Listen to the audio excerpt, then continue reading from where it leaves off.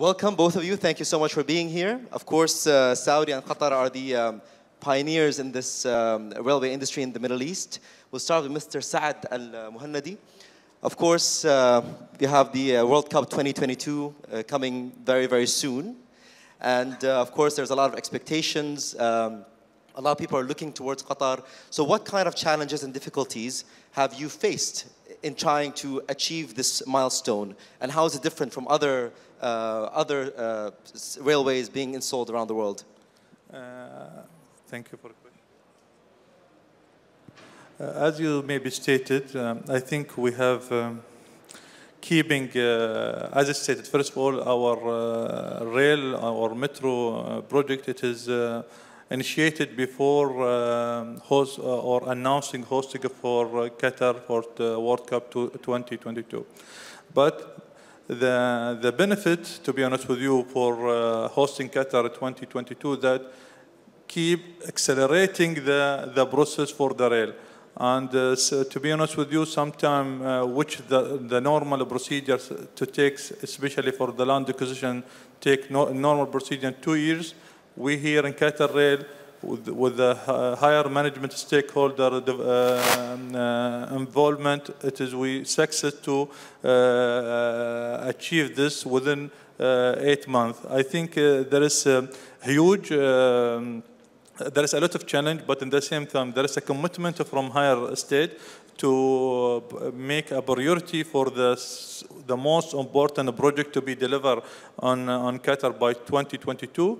And we deliver this project uh, on time. There is close coordination. There is a committee chaired by uh, His Highness, the Emir, and uh, meet uh, every, an- biannually and it is report to them the progress for the, the, the, the, the, the project. I think the World Cup, it is give a more challenge for us, but at the same time, it is facilitate a lot of issue for uh, Qatar Rail to be expedite and to be delivered on time and to avoid uh, wait or delay the, the project. Thank you very much. Now, I have a question for the, for the both of you. We'll start with Mr. Hamad. Now, the, um, the, the uh, rail market here has been called the most promising in the region. So, what's driving this expansion, Mr. Hamad? I think we're a little bit late. Uh, but Saudi Arabia have started uh, earlier, a couple of decades ago, with a very small link. Uh, I think it is promising because there is a lot of, especially when it comes to Saudi and linking the GCC, uh, there is a lot of freight flowing uh, back and forth. Uh, in the region, we are a lot, we are behind, and we are investing heavily to catch up, I guess. Yeah. Um, what are the challenges that the uh, Saudi railway uh, company has, uh, has faced, and why has there been a delay for Saudi in particular? I think uh, the projects that we have floated and uh, tendered, we are not late on. Uh, we might be a little bit off, but there is the projects never come to be on time. The Saudi vision have came to connect a couple of areas that has mining areas in the north that was complemented by passenger and freight. I think the mining industry in the north have initiated or triggered uh, the railway to come to light. Also, uh, needless to say, that the GCC also uh, are committed to link. And uh, as far as passenger, I think we only have uh, the high speed in Haramain, whereas is it, uh, is it really neat because there's a lot, a lot of uh, people visiting Mecca and Medina, a lot of Muslims. So that's uh, also, it's ongoing. Uh, freight transfer from uh, Red Sea to, to the Gulf is another trigger to have railway. Uh, and let's hope we deliver on time. So the question is for you one more time is um, uh, you mentioned that uh, I'm sure you'll discuss this in your speech later on, but um, what would be the priority? Was it is it the freight or is it more the uh, the um, the railway that is related to the Hajj? I think, I think uh, related to Hajj is, is it's the most important. You have millions of people coming in a specific time. Uh, it's a couple of weeks that you have uh, a high peak, high end. So I think uh, passenger, as far as passenger, it is the most important. As far as freight, everything is important when it comes to connecting borders. Fantastic, thank you. Back to Mr. Saad now. Uh, we also want to talk about the, um, some of the challenges you faced uh, meeting such a, an important deadline. And aside from that as well, uh, we want to know also as well what measures have been taken to make sure the project is consistent with local and international laws and conventions. Uh, thank you for question. And uh, just uh, I need to comment for uh. Mr. Um, I agree. I fully agree with him. Maybe the project is late, uh, but I think uh, the trend now in all GCC country uh, related to uh, promote and to implement um, a plan to uh, for either uh, rail or metro for passenger or for the fl- freight. There is a, I am sure, um, and based my meeting with um, the GCC country committee, there in each uh, country here in uh, GCC, they have their own uh, plan uh, to implement uh, and to uh, expand the, the network requirement for the, the, the rail or metro or the freight. The resistance from the higher state authority in the previous was rejecting this idea from beginning, but I, I am sure at this stage now there is um, uh, acceptance from, of, from the higher state authority, and I think now the trend uh, in, in uh, all the GCC country to uh, expand the, the, the rail uh, in all aspects, either light rail or uh, heavy rail or uh, for the freight. Regarding your question uh, for uh, the challenge, uh, I consider this uh, Qatar, especially for the metro project here, as maybe 1,000 project in one project. Uh, we are um, we are not working in one island or one uh, free area, and we build our uh, project. We are interfere with all the utility uh, in all Qatar, around maybe 27 ut- uh, organization or develop or developer or utility. You are interfere with them due to the huge uh, length for the our network. Uh, this is uh, keep this is uh, the main challenge. But in the, in, the, in, in the other ways, we are already established um, a coordination committee uh, chaired by each uh, chair by, chaired by each chairman of the of the of each utility to the member for this committee, and there is a flu, there is a smooth coordination to facilitate the coordination uh, for the, the work and to avoid do the task twice. And sometimes we expedite our project or we, sorry, we expedite our activity or delay our activity in order to ensure integration between our project and other utility project. I think this is the first, first thing. The second thing, I will be honest with you, recruiting people.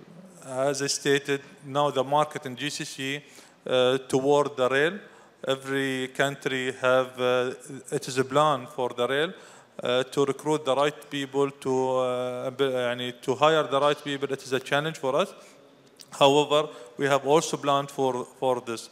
And sorry, the the last thing I think, as I stated, the logistic requirement. As you know, Qatar uh, land it is relatively small, and uh, there is a, a logistic challenge to ensure to ensure uh, implementing this project with the minimum impact for the citizen and for the people living uh, in Qatar.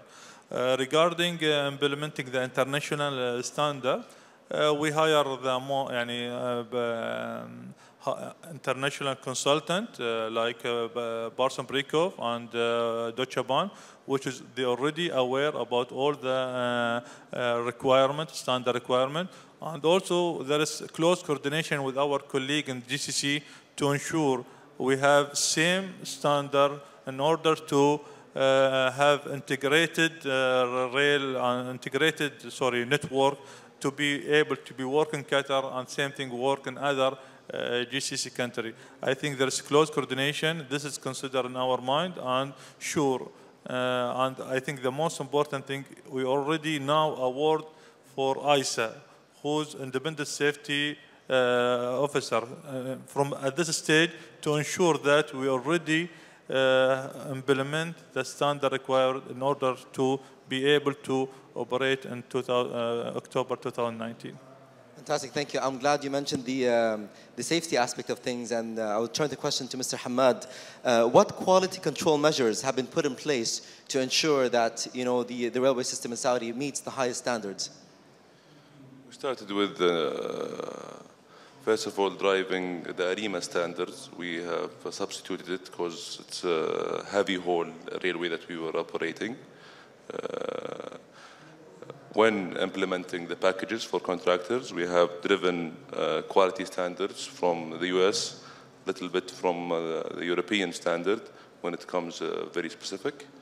Uh, having this in place, I think we have invested a lot of time in putting those packages before floating in as far as construction phase, as far as quality in terms of operation, because we are an operating company in the end of the day. Uh, we, are, we have just started the operation of the mineral line. Uh, we are uh, implementing a quality uh, plan. There is a lot of bugs in the beginning because we were in the pilot uh, year. We, uh, we are, by, the, by now, we are ending our second year of operation. Uh, and I think the plan is going pretty, pretty good by noting out the bugs that we had in the beginning. Fantastic. And I think there's a question that a lot of people here would like to ask as well is um, uh, what tenders uh, would people watch out for between now and the years and months to come? Okay. Uh, the North, go ahead. I think, I think you have a lot of tenders. I don't have that much. We've already, we're now we are handing over from contractors, so you want to, we can give you the lesson learned, I guess. Okay, I'll start. We have, um, we have the North-South Railway project. This is at completion. Uh, complementing the North-South Railway in the eastern side of Saudi, we have uh, Jubail. Jubail is an industrial city. Uh, Jubail is divided into three packages. Uh, Ras Al Khair Jubail. Ras Al Khair is, uh, is also a new industrial, uh, it's a, it's a uh, process facility for Ma'aden, which uh, it's a company that processes uh, phosphate, bauxite, caustic soda, and a lot of other minerals.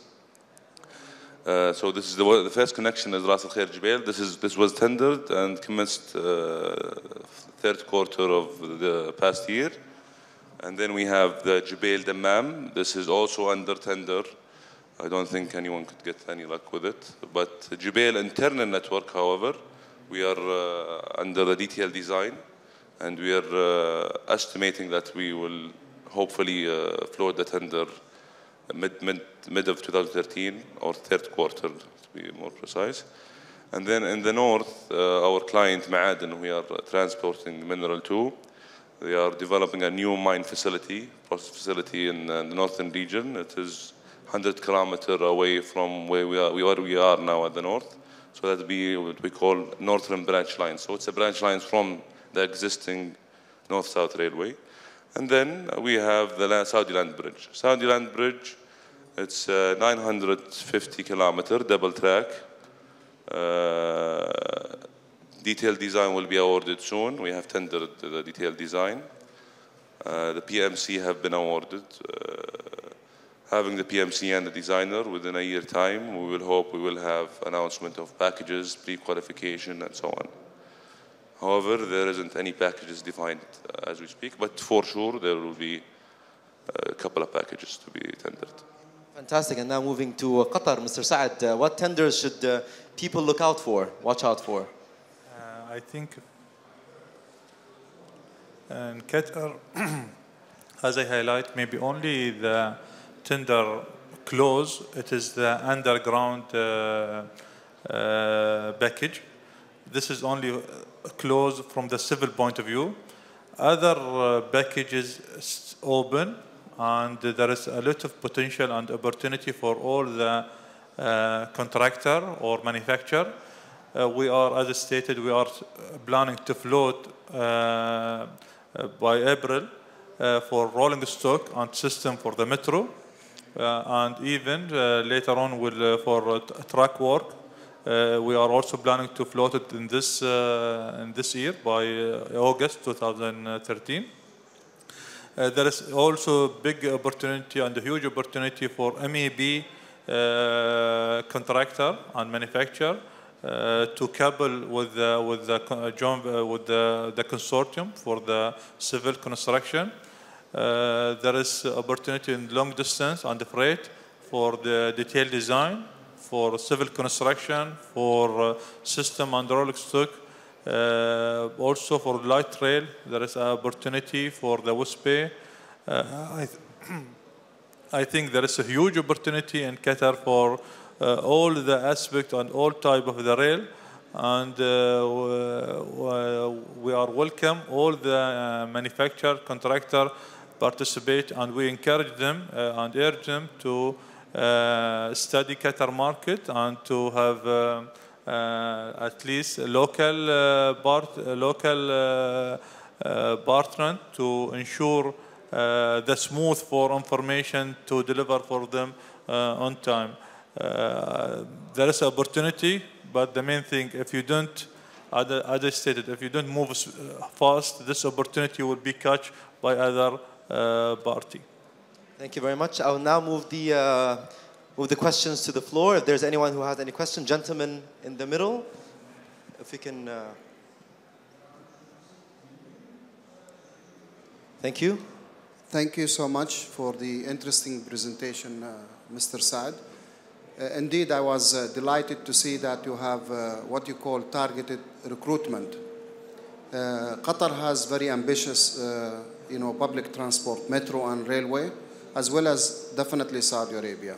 And within the GCC countries, you're talking about an investment of a minimum 150 to 200 billion uh, US dollars and a network of at least maybe 10,000 plus kilometer of railway and metro projects. With that, you are competing for the same resources, you know, not only regional but also international. And there is a delicate balance between when to retain these resources, especially to build the skills and capacity needed, not only for the development of the projects, but actually more important, during the operation and maintenance for sustainable development of the railway sector and the metro projects in the GCC countries. In your vision and your strategy to have this targeted recruitment, you know, there will be a lot of challenges to be able to hire the right staff for the right position. Not only that, more even challenging to be able for them to adapt to the local conditions and also adapt the international experience for the very special requirements in the GCC countries. How do you see that moving in your overall strategy for hiring, replacement, and recruitment in light of you know, what we call the nationalizing of the railway industry in the GCC countries? Thank you, Doctor, for your question. Uh, as I stated, maybe the most challenge to hire the right people uh, to deliver this project. Um, we have a plan, we have initiative uh, to mitigate or to um, overcome this challenge. And, and as I stated, we have a plan. Inshallah, by April, we'll have a, recruitment campaign in different country in the world in order to uh, recruit and hire the, the, the right people. Same time, we have also agency, recruitment agency. We deal with them, international recruitment agency. We deal with them for the uh, headhunting and to ensure that we recruit the, on time the right people. Uh, to be honest with you, the staff here in Qatar, uh, our project maybe they work 20, uh, 20 hours per day due to the overload. And this is as a, a challenge for us. And uh, we are trying uh, to recruit people and hire them. Uh, but at the same time, we need to recruit the right people. Uh, and uh, this is uh, a challenge, I think, for Qatar and also a challenge for other organization and, and GCC country. Uh, but in the end, we have a plan to implement that, and we hope uh, this plan will uh, succeed and will achieve our goal. Other um, uh, sorry, alternative to uh, get these people through our uh, consultant, which is the B- BMCM consultant, was highly international, or through SBM, which is Parsons Brinckerhoff or Deutsche Bahn. There is uh, a clear uh, plan, but also there is also alternative in case there is shortage uh, for uh, this plan. I hope I answer your question. Uh, okay, thank you. Thank you. Do you have any other questions? Perhaps for Mr. Hamad, lady in the front. Assalamu alaikum. Uh, Dina Kamil Yusuf from uh, Gulf News. Um, a quick question for both you gentlemen and it replies in both cases. If you can let us know, um, uh, especially Mr. Saad, how many people you're planning to hire in the long term to complete the, the project, and also the overall cost of uh, the projects that are uh, underway for this year. Sorry, your sound, the question not clear. Your The- sound not clear. I believe the question was about the uh, number of people you are you will be recruiting to complete the project and the estimated cost. The estimated cost for the total projects that are uh, meant to go underway this year. Uh, we have approved budget for 35 billion US dollar for all the project. Uh, we are uh, we have now uh, um, the current staff around 95 uh, person in Qatar Rail, and we are planning to recruit or to reach for the by, by end of this year 360. Uh, as I stated, our approved organization structure it is 480, but also we have a plan and we are realistic we think we will not be able to recruit these people within a year, and we make a priority for which people we need to uh, hire them, and we have clear manpower planning to achieve uh, this uh, target. Mr. Hamad Al Yousef, the same question to you regarding the recruitment, uh, number of people to be recruited, and the uh, estimated cost of the project. Well, the estimated cost of the North-South Railway, I think we have spent at the border of 20 billion riyals, which equates to 4 point, 4 point some uh, billion dollar. Uh, as far as recruitment, in the beginning, the company started as uh, overseeing the implementation, so we didn't really need a lot of people because we have a lot of consultants. Uh, so it's uh, it's more of uh, managing the project as we were acting as a PMC at some point for the North-South Railway. As far as operation maintenance, which are we going to, uh, we have uh, hired about 400 people. We have subcontracted uh, maintenance with our, one of our contractors. We estimate a border of three to 4,000 people to operate the North-South North Railway. That includes passenger stations, uh, intermodal yards, uh, and uh, loading and unloading facilities of uh, our clients. Also, the operation, meaning the crews of, of, of, of the train itself, and in our OCC in Riyadh, which is the operation center. Fantastic. Do we have any other questions? Uh, we have three. Maybe we can, lady in the front. All right, um, Anita Bays from City 7 TV. Um, Mr. Saad, you said that you have a potential revenue of 38 billion, and that's over the next two years. Um, you're sort of pushing for Qatar to encourage localization, you said. However, you will be looking for contractors possibly outside of Qatar. Um, has there been any interest from the UAE at all? Unfortunately, the, the sound, either my ears have problem or the sound system there is a problem. Can you repeat your question? Uh, can we just repeat the question and maybe because just uh, move the uh, microphone a little closer?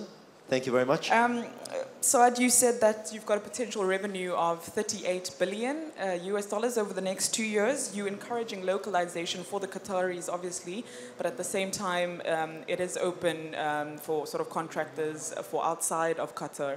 Um, has there been any interest from the UAE at all?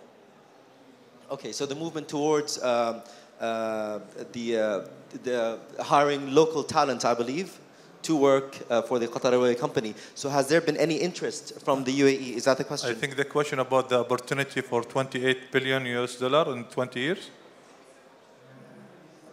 Uh, sorry. No, I didn't hear your sound at all. sorry. Can we hand over the mic again? Um, not so much the recruitment side, but more the, the investment opportunities and Yes. business. Okay, Okay, the investment opportunity. The investment opportunity, as we stated, we already hired McKinsey, and there is around uh, 28 billion uh, US dollar uh, potential revenue.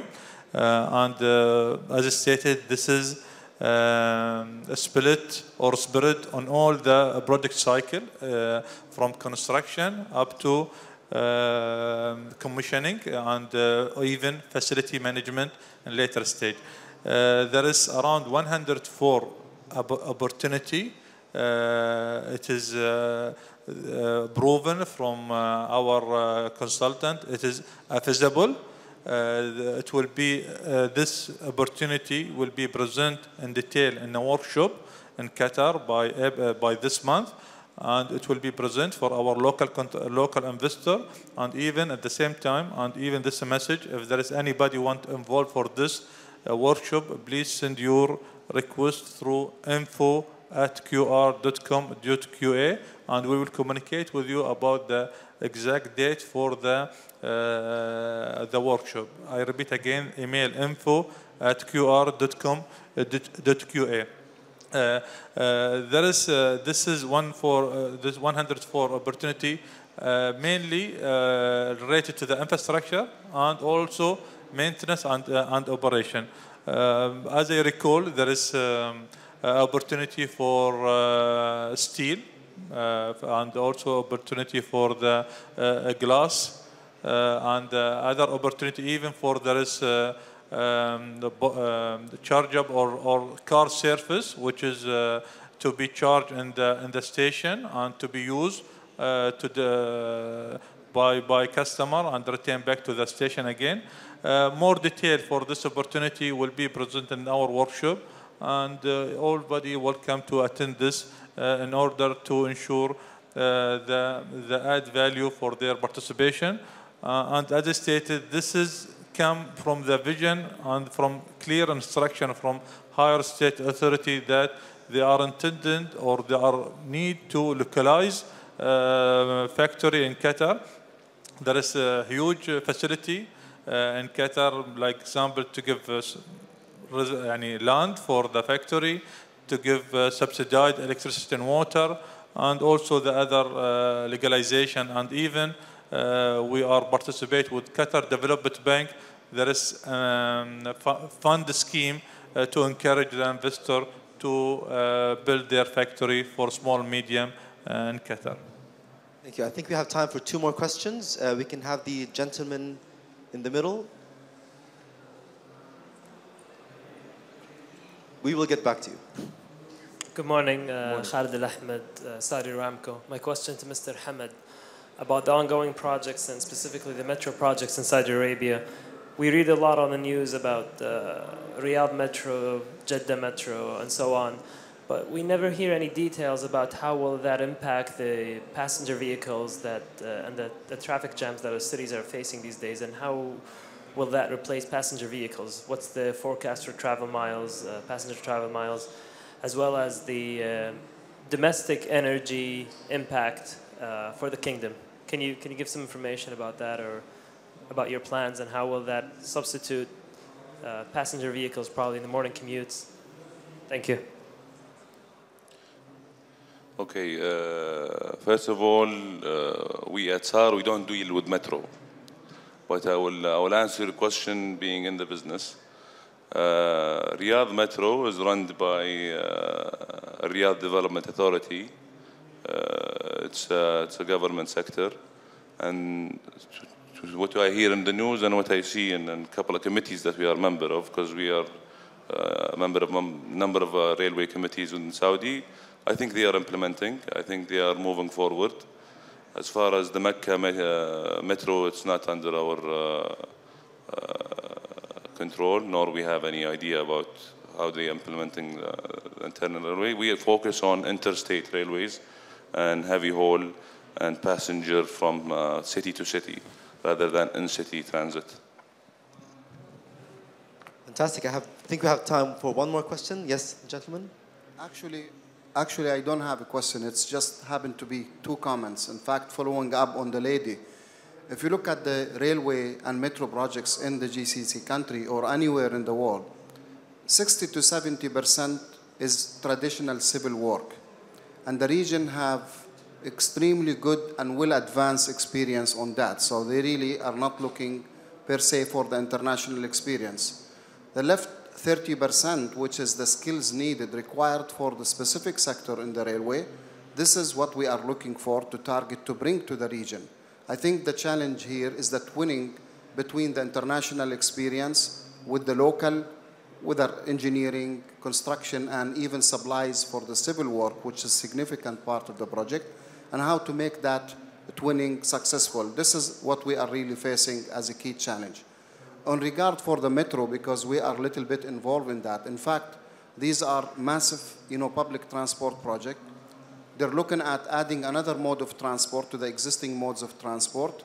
And for the Riyadh Metro and public transport projects, it is expected to be awarded within the first quarter of this year. So you're talking about maybe another month or two, you should hear the award of the packages to start, you know, construction.